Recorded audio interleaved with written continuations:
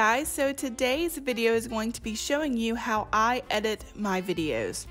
Now disclaimer, this is a very short, simple, just grazing the surface style video of editing. If you want to get more in depth and learn more tips and tricks on editing, go watch some YouTube videos. I will link some good tutorial videos down below that go more in depth than I am going. I am just showing you a very bare bones way that I edit my videos.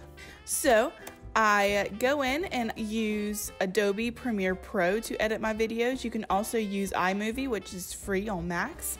So once Premiere Pro opens up, you want to select new project and I'm showing y'all how I edited my 1940s tutorial. So once you put that in there, this is what pops up on your screen. There are four different windows starting out in Premiere Pro.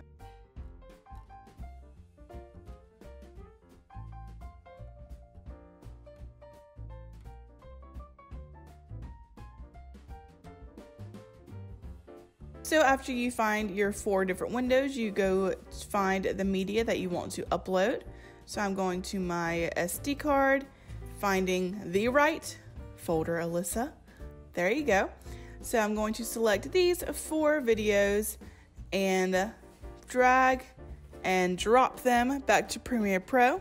And then I'm also going back to my um, recent folder. You can see I have a lot of random stuff in my computer right now, but I'm grabbing my intro video, my exiting thumbnail, as well as the music that I have already downloaded for this video.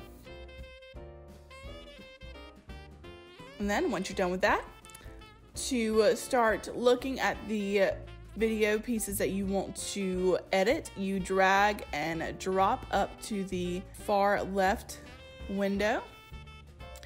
And there goes my video. So, in order to select which clips of the video that you want to drag and put in your video, you select I for in and O for out. So at the very beginning, I selected I, and that started out the video process. And then when I ended at a place that I wanted to clip and edit out, I hit O, and then I dragged and dropped it down to the timeline section. You can also drag and drop things to the timeline section directly from where your media sits.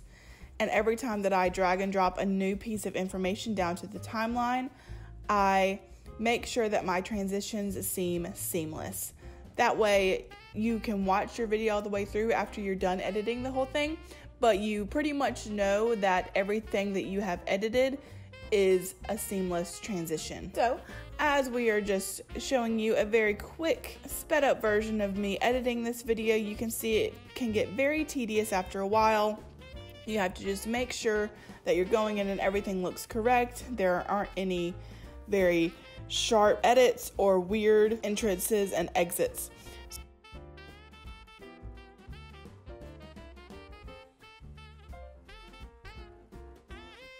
So for this particular video, I needed to show you which eyeshadows I was using out of the Jaclyn Hill palette. So for a lot of these videos where I use this, I go to Google and I type in the name of the palette that I want to use.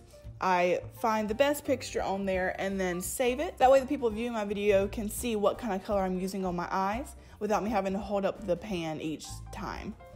I also go find a fun dot or star or heart just to put over the particular shade of eyeshadow that I'm using out of the palette.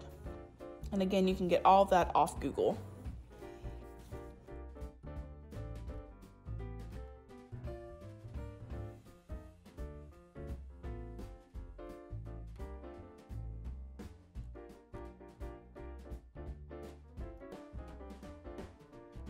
And then once I have those downloaded, I go and find them in my Finder and drag and drop them down.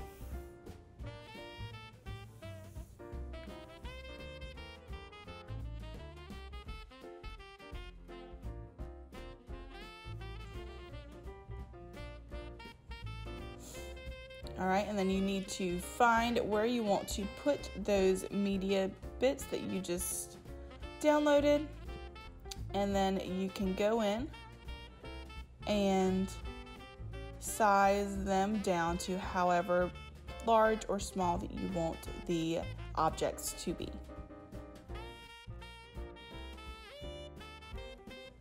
And again, this takes a lot of practice and a lot of patience. So whenever I have media like this and I know I'm going to be using it a couple times, instead of dragging and dropping it down, I copy and paste it so that way all of my sizes are the same. You can tell that this process takes a while and whenever you have little bitty pieces, it gets hard to move them all without an issue.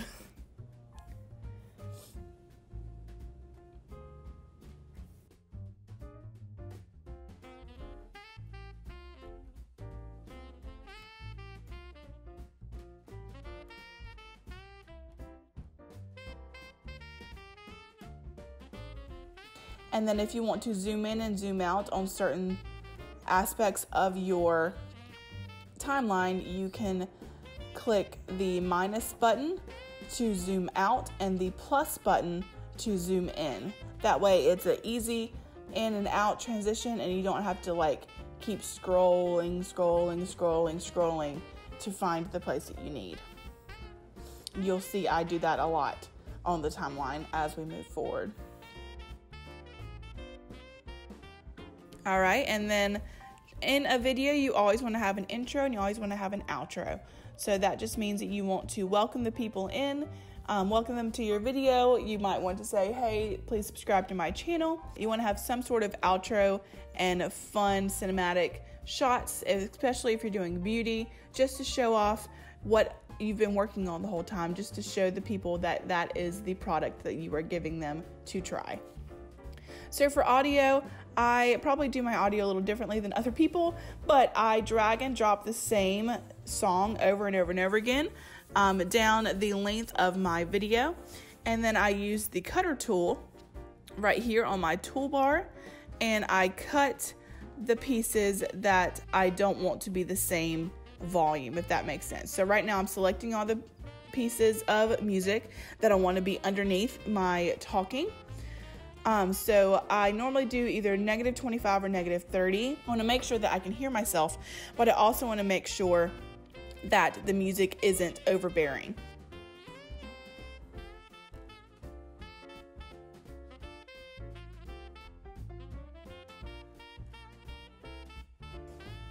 So this video went to negative 30.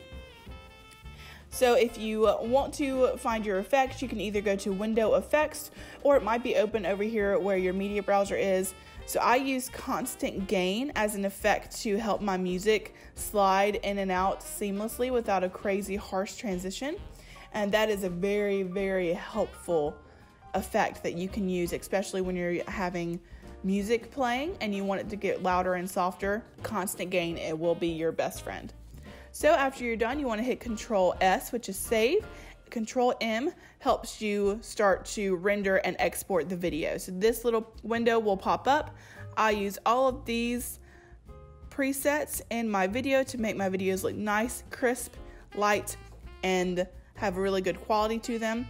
So I go ahead and hit Queue. And whenever you hit Queue out of that window, the media encoder pops up. So this media encoder is just another part of the Adobe suite, and this actually is the program that exports your videos.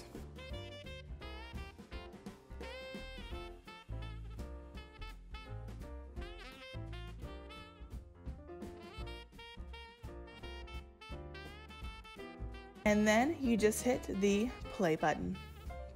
All right, and then that will render our video and we are done. I hope that you guys have enjoyed this video. I hope that it's helped you just a little bit to see a little quick version of how I edit my videos. Again, make sure to subscribe to my channel. This is a full month series of the Season of Wonder and I will see you guys tomorrow.